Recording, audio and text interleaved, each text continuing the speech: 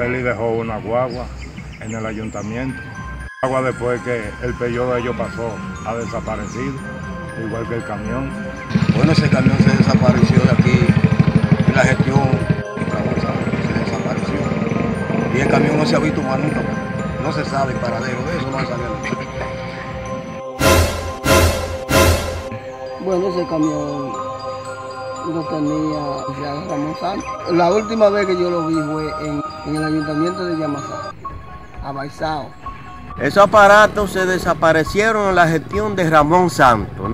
La última vez que yo vi esa guagua y ese camión estaban deteriorados. No sé qué hicieron con esos hierros de esos aparatos. Que tú trabajaste en el periodo de, de Ramón Santos. Sí.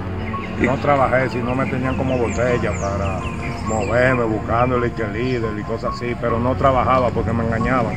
Eh, y que era nombrado y en el año podía cobrar cinco meses y los otros siete se perdían, que nunca había fondos, siempre había un problema, que había que buscarlo prestado. Eso era un relajo en ese mandato. Aquí no se hizo nada, aquí lo que hubo fue engaño.